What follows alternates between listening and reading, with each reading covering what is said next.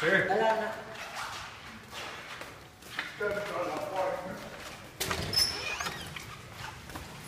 Okay. This laptop's broken. We finally just kind of got the submarine working.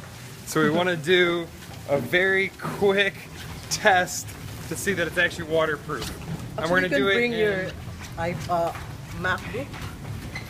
No, my MacBook doesn't have an Ethernet cable on it. This Ah. thing needs a LAN cable to get Ah, going. okay. So we have to do it in fresh water because if there's any failures or leakages inside the submarine, and we test that in salt water first, it's gonna totally kill it. You're also holding the camera at a very weird angle. okay, we're still going, we're still going, we're still live. cut bro. What's up?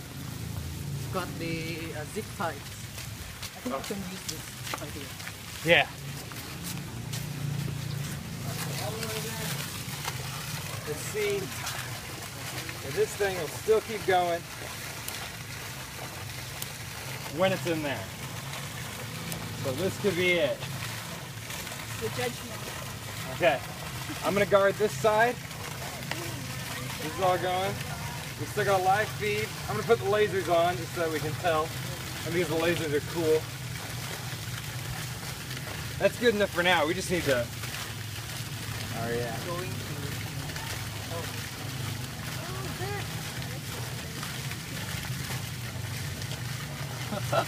We got it. We got enough length.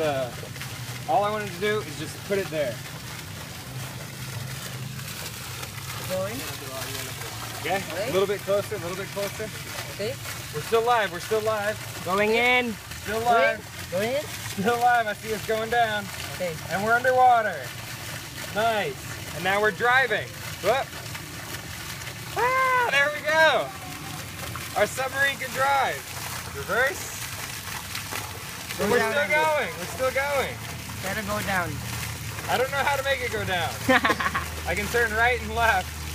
And then you can go the. What is it? Can you move your hand and just move it more towards the open area? WASD? I don't know how to make the vertical thruster change. Look at this No, the, the three. What is it? The, Oh, the three here, diagnostic. Yeah.